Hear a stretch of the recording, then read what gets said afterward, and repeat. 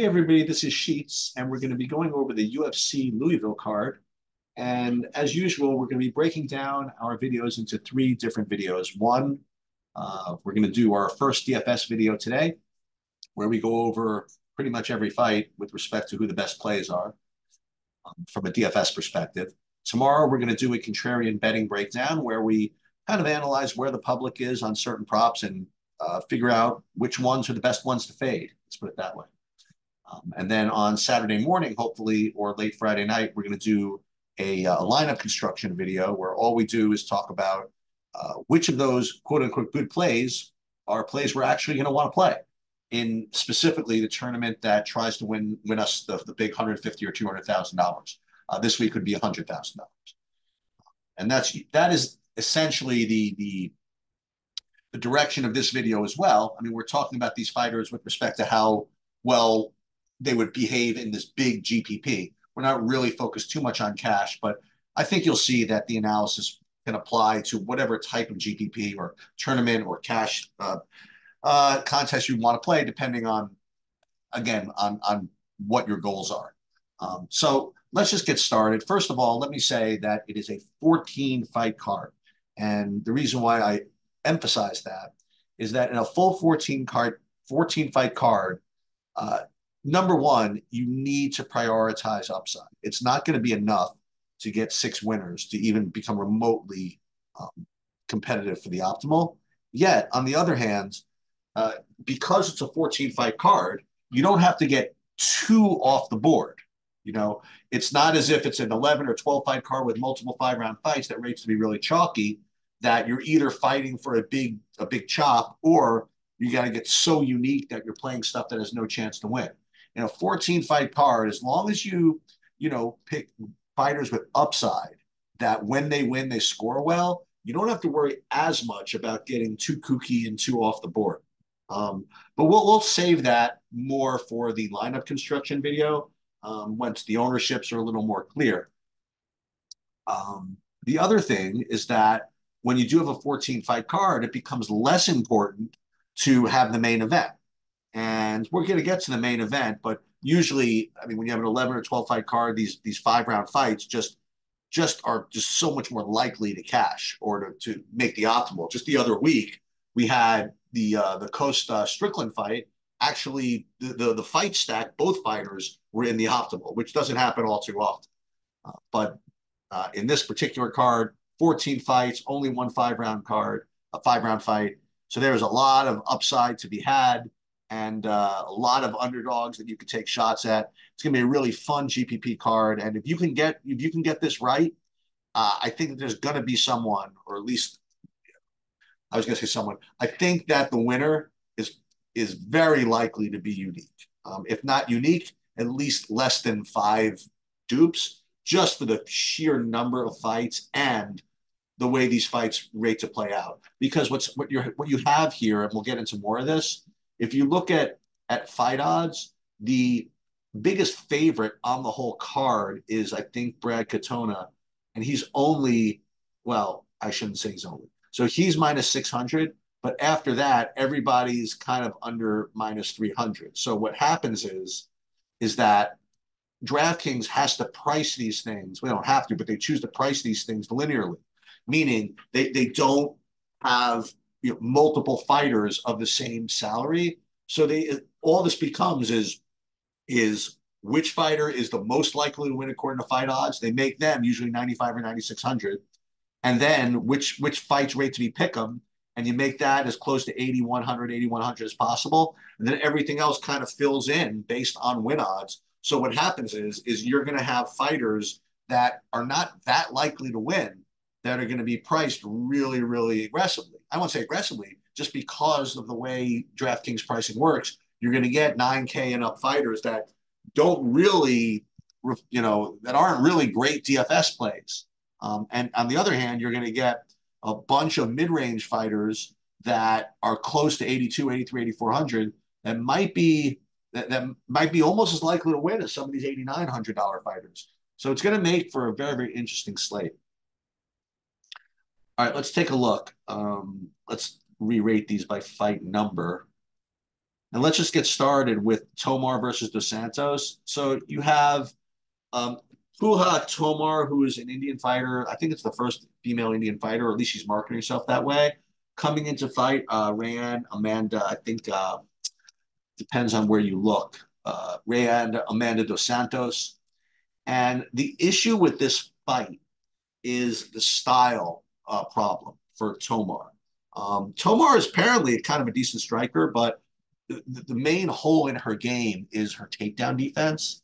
And apparently, uh, Rayanne is extremely uh, aggressive with her takedowns.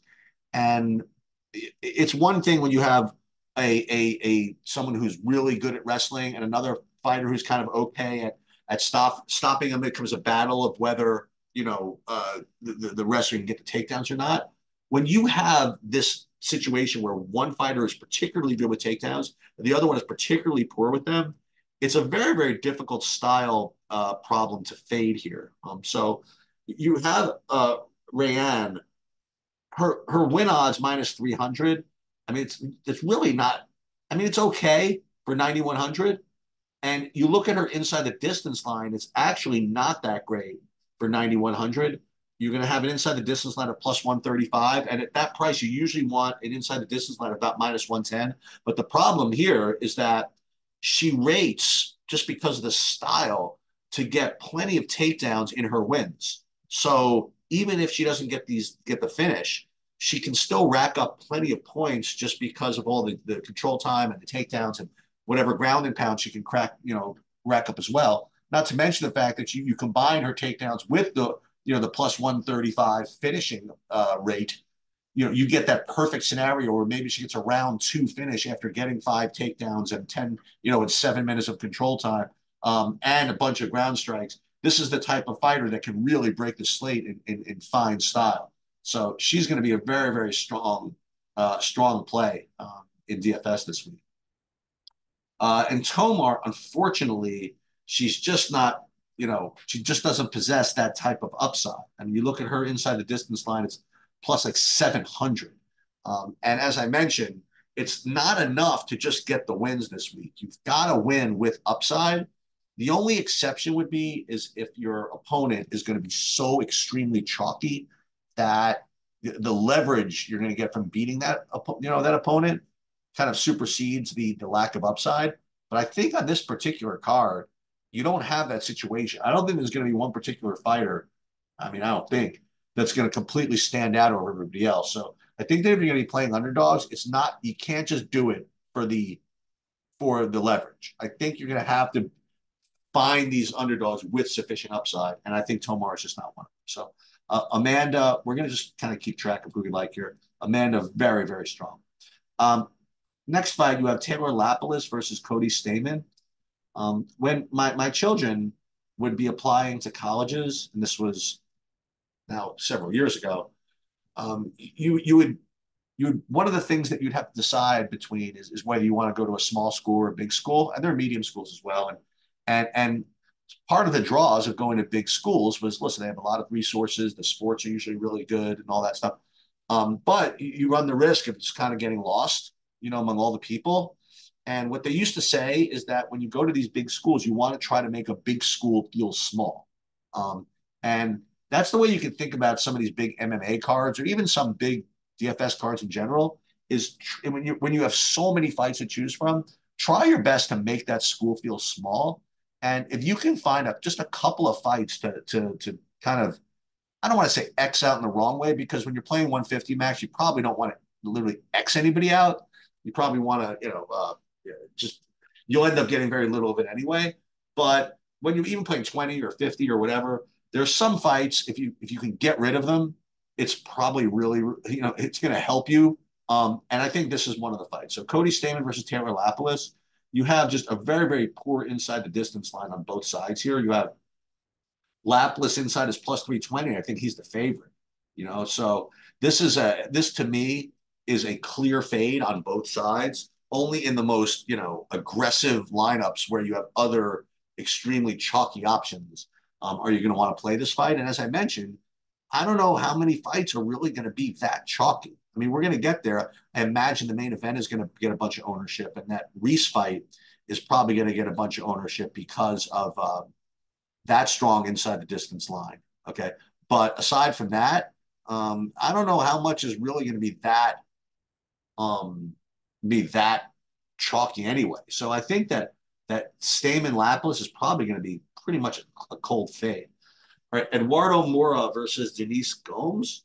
Um, it, this is one of the rare, you know, female fights that you have two very aggressive fighters on both sides, and both of them have, at least by the eye test, quite a bit of upside with respect to how they can, you know, rack up points. And you have uh, Moura, who is extremely aggressive and goes for all kinds of takedowns.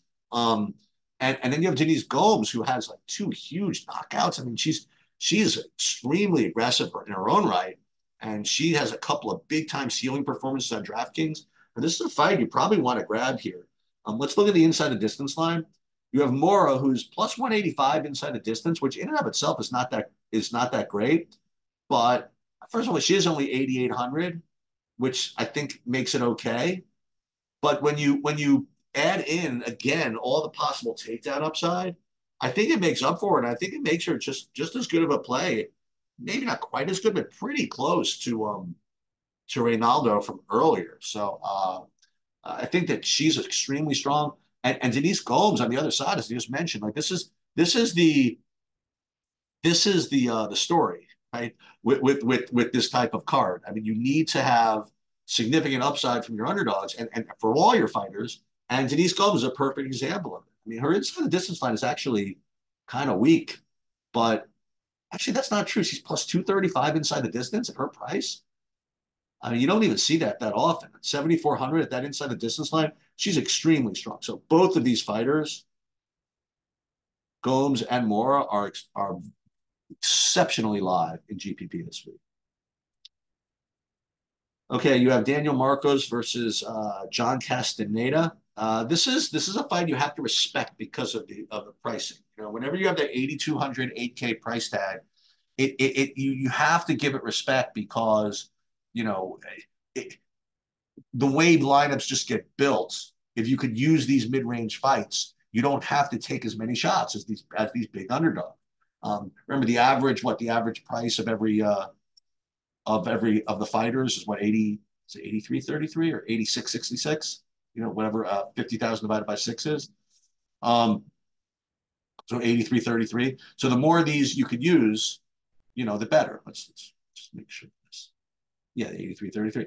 Um, so let's take a look at this fight Castaneda versus um, Marcos. The one thing I would say is that uh, Castaneda has the has the greater grappling upside between these two.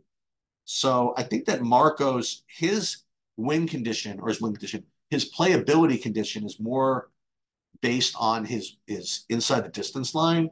Where Castaneda, you could you could make a little bit, you can make some more excuses for him if he doesn't get a finish. Um, so let's just take a look. Marcos inside plus 350. That's just extremely poor. I have to say, Castaneda's inside the distance line is really poor too at plus 365. I, I, I wonder if he does really have a tough takedown upside to overcome that. Um, when I was first thinking about this card, I was thinking that maybe Castaneda would be almost a core play because you put his inside the distance line, excuse me, his takedown upside with his price. Um, it's going to be pretty strong. But I have to say, again, with a 14 fight card, you got to be really greedy, you know. And, and, even though he has a chance to get, uh, oops, even though he even even though he has a chance to get some takedowns, it's not like guaranteed right? It's not a guarantee that he's going to go for them. So if in fact, you know, it ends up a striking battle, then it's a problem for both these guys because they're inside the distance line extremely poor. And Castaneda's inside the distance line is, is really poor. So I don't know if the takedown upside is enough. Um, I originally thought that this is going to be a core fight for me. I, I'm sort of inclined to almost want to fade it now. It's tough to do because of that price model but uh, I think I'm going to be under on both these guys. All right, Andrea Lee, Montana De La Rosa. Um, this is an uh, again, this is another fight that is an attempt to make a, a big school small, so to speak. And you have both of these fighters with just extremely poor metrics. You have Lee inside the distance plus 325 and De La Rosa plus 700. Um, not, neither of that is going to be good enough. You could argue that De La Rosa has more of a takedown upside of the two fighters, but she doesn't really do much with them. You know, she doesn't she doesn't have a lot of control time. She doesn't really um she doesn't really have um put a lot of ground and pound or anything like that. So it's um it's uh it's a tough it's it's a tough fight. I, I would probably end up just stone fading this whole thing. Try to make the uh, what you call it. Try to make the uh, uh, big card small and just kind of move on with it. All right, Brad Katona versus Jesse Butler. Okay, so as I mentioned before, Brad Katona is the biggest uh, has the biggest price on the card because he's got the best win odds on the card. He's like minus 625. But that's not like the end of the story. You know, just because he's minus 625 doesn't mean he's worth the whatever, the 90, 9,500, I guess.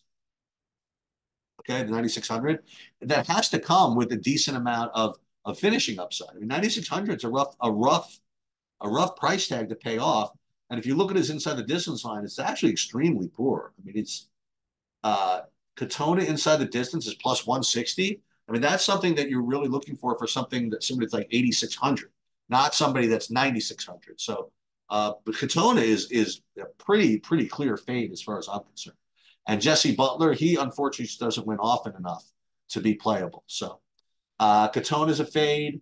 And and look, we're we're doing we're doing some damage here. Like we're getting rid of some guys. We we started with 28 fighters. We're getting rid of Katona, getting rid of Butler, getting rid of Lee, getting rid of De La Rosa, considering getting rid of Marcos and Castaneda, getting rid of Stamann and Lapilus, and it's it's it's helpful because there are some combinations we're going to want to access. Um, starting with this next fight, so you have Charles Radtke versus Carlos Prates. So he is uh, minus 220, and you look at the price tag, 9,200. So here's one of the issues. You know, normally your $9,200 fighters are going to have just much better win odds. And when we even looked at one earlier, we had who was 9100 that we just saw? Like Dos Santos, she was minus 300. Okay. She's minus 300. And she has pretty good takedown upside of her, uh, pretty good upside on her own, um, where you have, uh, what's his name? Uh, who's more expensive, who's only who's minus 200 to win. Now, again, it's not just about the minus, you know, the, the win odds. So we look at his inside the distance line. His inside the distance line is fine. I mean, it's minus 115, which is pretty much what you want from a $9,100 fighter. And the problem is it doesn't really come with a lot of, uh, with any takedowns. He's a rangy type fighter. And he, to be quite honest with you, he was not too inspiring in his last fight. I mean, he was, he was kind of keeping range and, and essentially losing to Trevin Giles, who is just not, you know, nobody's really afraid of him. So this is a very, um, this is a very tough favorite to play, honestly. Um, on the other hand, I mean, you have Charles Radtke. He is, again, if we have one guy who's kind of poorly priced because of the win odds, then probably the opponent is going to look pretty good, right? Because now you have Radtke who's plus 195 and he is uh, 7,000. I mean, even if we knew nothing about his inside the distance line, I mean, that's a damn good price for a 7K for, for a guy with, you know, 33% winning chances. And you look at his inside the distance line, I'm pretty sure it's okay, right? Let's see. Radtke inside the distance. Boy, I thought it was going to be better than this, like plus 395. Um, he did finish his last fight in kind of fine style. He was a big underdog to Urbina, totally walked him down, knocked him down twice, and toasted him. So, I mean, he does have that in him. And also, from what I've heard, he has a good amount of, he does have some wrestling. He hasn't, doesn't really show it all too often, but he's got that in him as well. So, I don't know. I think the combination of these two things makes Radtke a very strong underdog here. Um, so, I actually do prefer the Radtke side.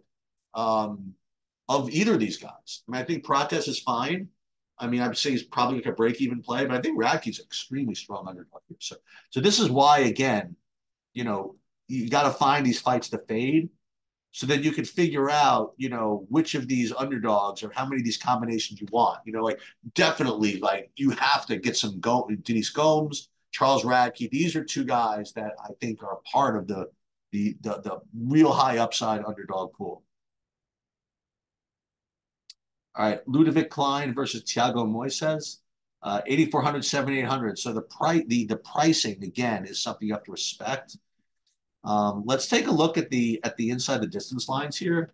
I don't think either of them are that great. Um, actually, they're both plus 220, which is not bad, you know, for this price. Um, Klein's inside the distance line. Actually, they're both plus 220, right?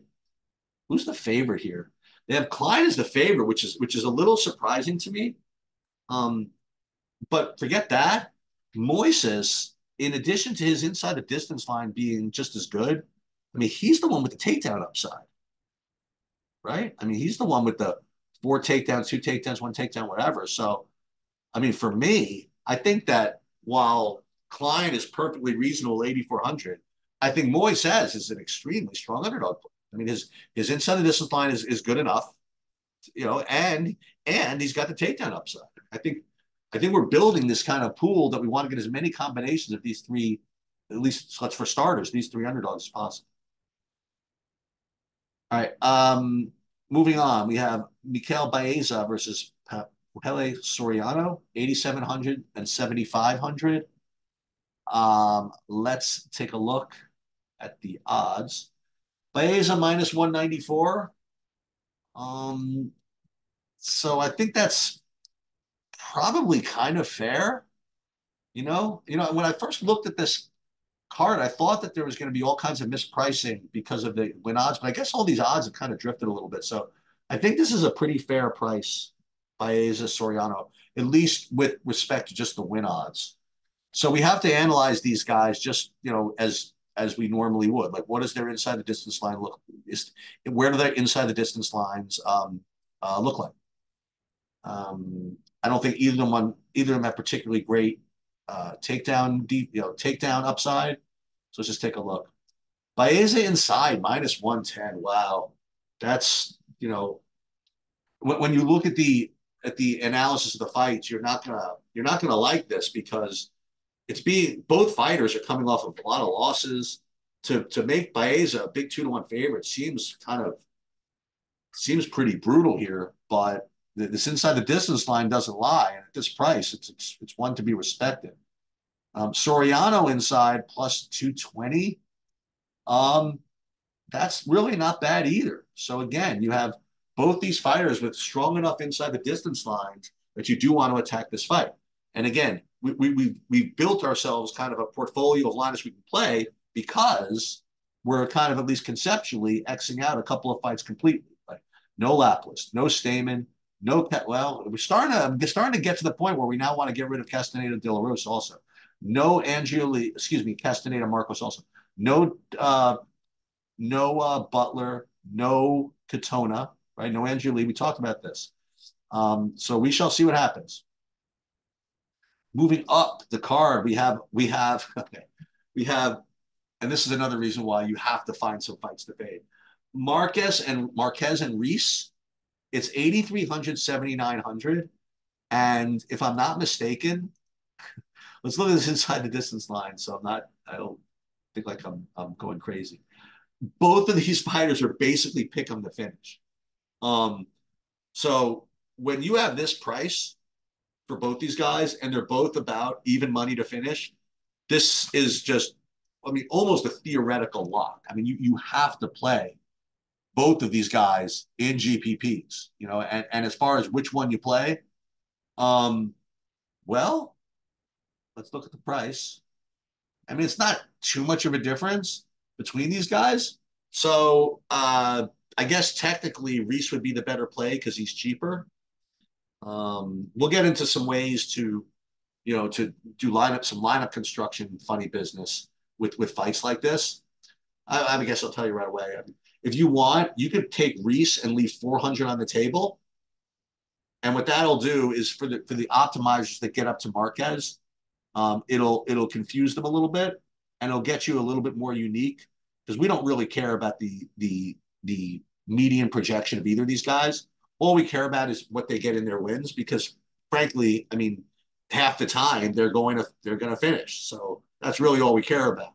So if Marquez, just because he has you know kind of, I don't know who's going to have who's going to look the best, but whoever has the bigger projection uh, is going to be you're going to get to them in an optimal that leaves 80 8300 on the table for example and if you could play Reese and leave that 400 on the table you're getting yourself a little bit more unique but yeah this fight is kind of a fight you just have to just kind of kind of blast both sides um, so uh, Brunno Ferreira versus Dustin Stoltzfus so this one they made a little bit hard because Brunno Ferreira probably has an extremely strong inside the distance line uh, this price tag is pretty rough. You know, at, at, at 9,400, you are going to need, I mean, you're really going to need a first round KO.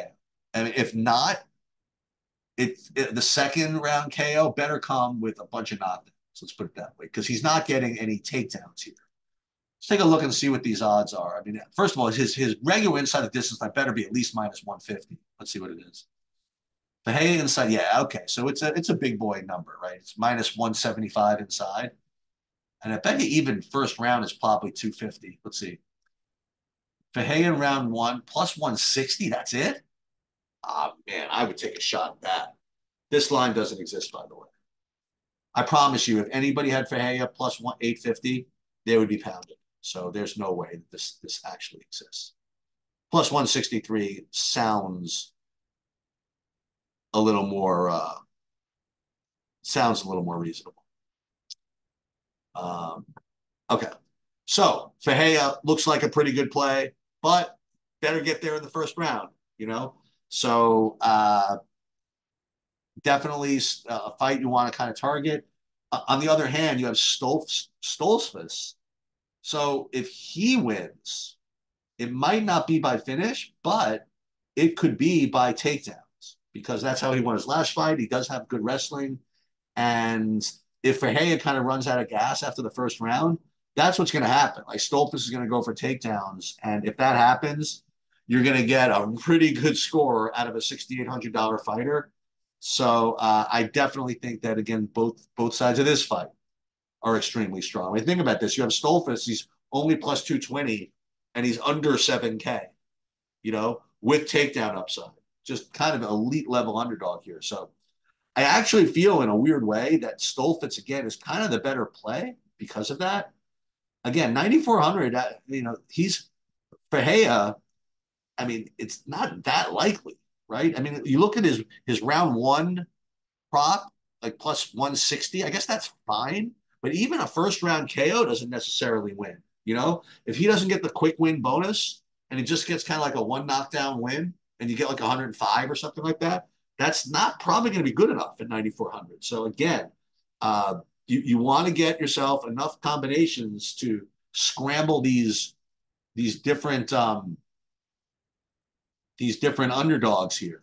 Let's let's let's remind ourselves of who these are. So Stoltz, let's put put him in here as well.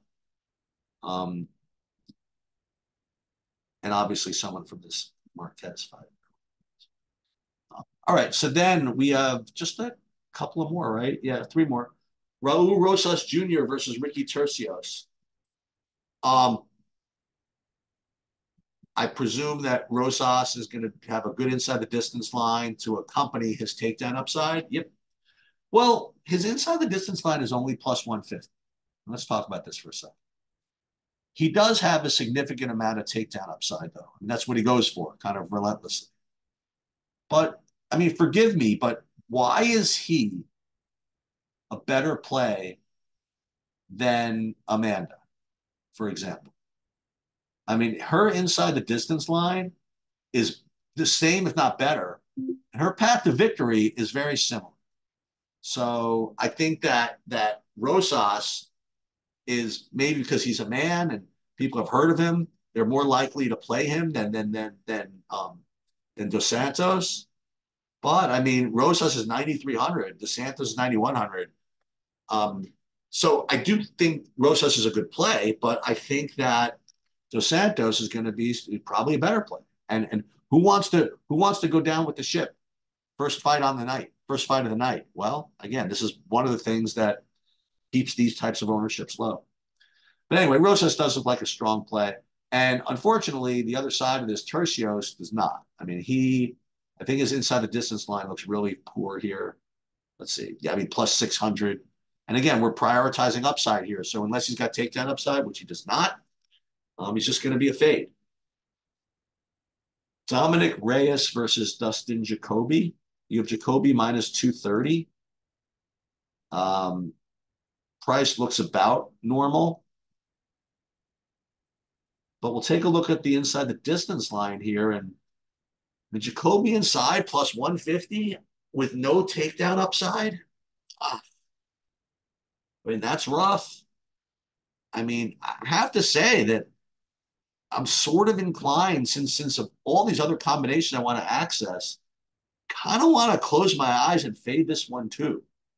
Um, now again, Jacoby I think is coming off a first round KO. Was it Aven Chikwi? I think wasn't if it wasn't that fight, it was the one before. No, he lost to Menifield in his last fight, but um, he did have Kennedy Nzechukwu um, um, for that. a very, very surprising actually first round KO. Um. Anyway,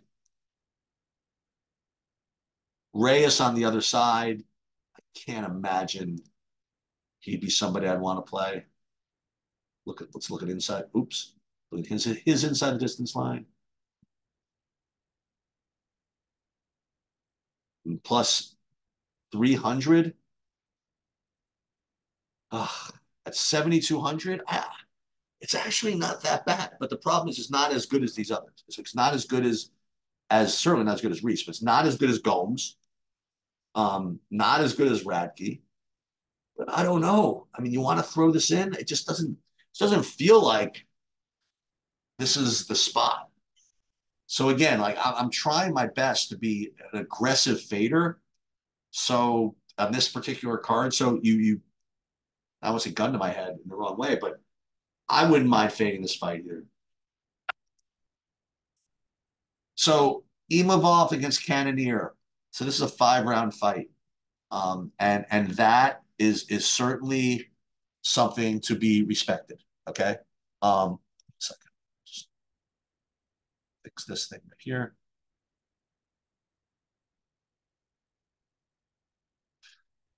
So five round fights, uh, they, they carry with it just so much upside with respect to significant strikes and other other actions, uh, takedowns, whatever, um, where the inside the distance line is just not quite as important.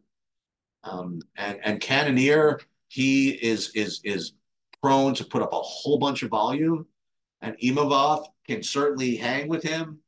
Uh, I think both these fighters can can rack up points here, even if there's no finish. I would say almost especially if there's no finish. So even though it's a 14 fight card, it, it's hard to to recommend fading this fight completely.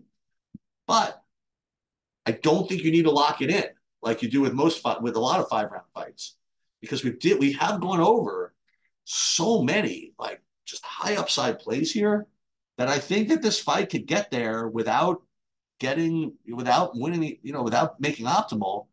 And again, we're getting into more of this when we talk about the um, you know, winning that 100K specifically.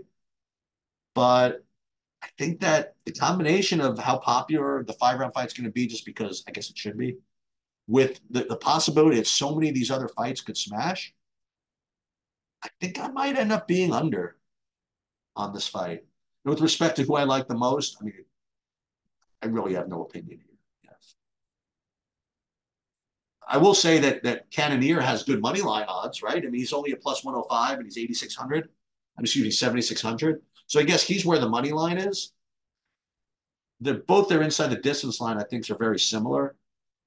I, well, actually, Imavov is a little better inside the distance, but Imavov also might have some takedown upside to overcome like those that money line issue. But then again, Cannonier has that that volume I talked about. So look, flip a coin as far as which one of these guys you want to play. But um, I think they're both in play. So what what does all this mean, or what what does this mean to the average? what, what this means, a couple of things. Number one, not that you have to do this, but but there I think there's a pretty good chance that the winner, the optimal, leaves like there's a, a bunch of money on the table. Okay. Now, I'm not saying you should leave money on the table, but I think at the end of the day, I think that that that possibility is certainly in the offing. I would also say, as kind of a, a, a um, uh, derivative of that, I think there's a chance that nobody hits the optimal this week because of that. Um, so I would again, I don't usually do this. I think this is this is might be the week to manually X out fighters. I mean, I don't usually do that because of you know I like to use the sims and give everybody a shot, but there's just so many high upside possibilities from other fights that I think fading the Atlapolis fight, and I have to say, I think fading Castaneda now makes more sense. The Castaneda fight, the Lee fight, fade Butler fight, fade the the um what you call it the uh Jacoby fight and then just then just scramble the rest and hope you get lucky. uh, and listen, it's not as easy as that, but I think that's the way you're supposed to start um, on on this type of card. Hopefully that helped. Uh, tomorrow we're going to uh, do a contrarian betting breakdown, and then either tomorrow night or Saturday morning we're going to do that lineup construction video where I show you guys how to win the 100K, or at least try to. Uh, that'll do it. Good luck, everybody.